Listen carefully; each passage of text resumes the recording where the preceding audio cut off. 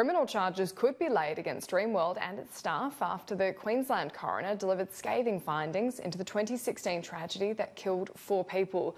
Live to Julia Bradley, who's on the Gold Coast for us. Julia, the mother of two of the victims, has spoken this morning.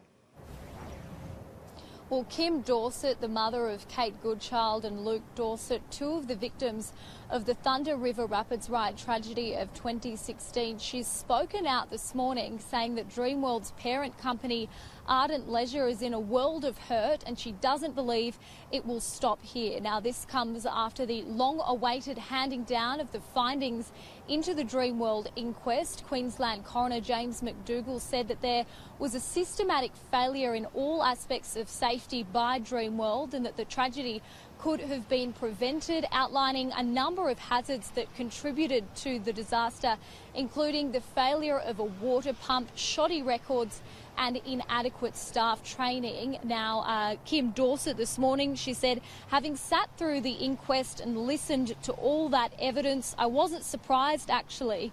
It was something that we heard bit by bit, add on by add on every day. Policy and procedures just not being followed. Now, Ardent Leisure has been referred to the Office of Industrial Relations for possible prosecution. The coroner, James McDougall, says that there is evidence to suggest that they could have breached workplace laws. Now, the penalty for this is up to $3 million in fines for a company or $600,000 or five years jail for an individual. Industrial Relations Minister Grace Grace says that the independent prosecutor for work, health and safety now has 12 months to decide whether to prosecute.